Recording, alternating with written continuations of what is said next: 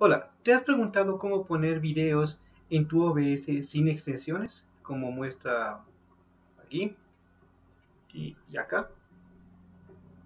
Pues quédate, que en este tutorial te voy a enseñar cómo. ¡Adelante!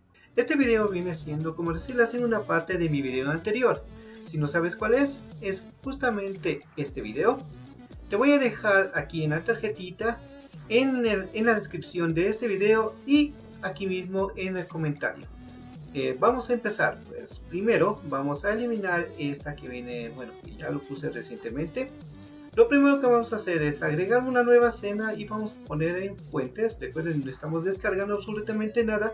Y vamos a ponerle cualquier nombre. Eh, vamos a poner aquí y vamos a ponerle un video de nuestra galería.